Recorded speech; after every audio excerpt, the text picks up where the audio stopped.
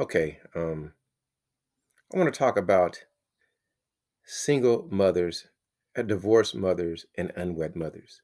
For some reason, people love to use the term for all three of those categories as a single mother. And that's something that we need to delineate. I'm using the right word because they're not the same. Um, a single mother to me is a woman who gets no support from the father of the child, be it financially or, you know, time spent. An unwed mother would be a woman who gets support from uh, the father, but is not married.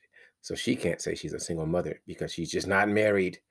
And and a divorced woman, while technically single, you are not a single mother because upon divorce, most likely you're getting alimony, and most likely the husband is paying child support.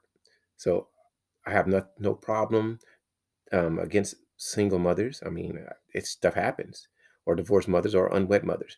But to say that you're a single mother when you're not is disingenuous. A lot of women to me will say, "I'm a single mother," but technically you're just un- you're divorced or you're unwed. Now there are a few single mothers, and then you got the right to say, "I'm doing it by myself because I get no financial support from the father," or uh, do they spend emotional time or time in general with my child? So that a single mother.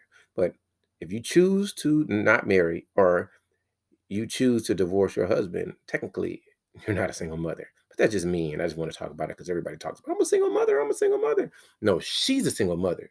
You just are not married and you didn't like your husband that much, so you left him for whatever reason. He could have been wrong or you could have been wrong, but he's still paying. So technically, you're not raising your children by yourself. So technically, you're not a single mother. You- You're you're co-parent. All right. Hopefully, I made some sense. Hopefully, and I'll take a thumbs down for that one.